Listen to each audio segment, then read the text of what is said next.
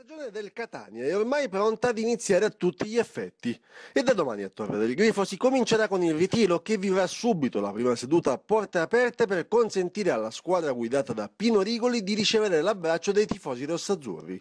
Tutto dopo la presentazione che avrà luogo in mattinata al Salone Bellini del Comune di Catania e le visite mediche di rito che si completeranno oggi e alle quali saranno sottoposti anche i nuovi acquisti in Modi e Nava, arrivati per completare il pacchetto arretrato.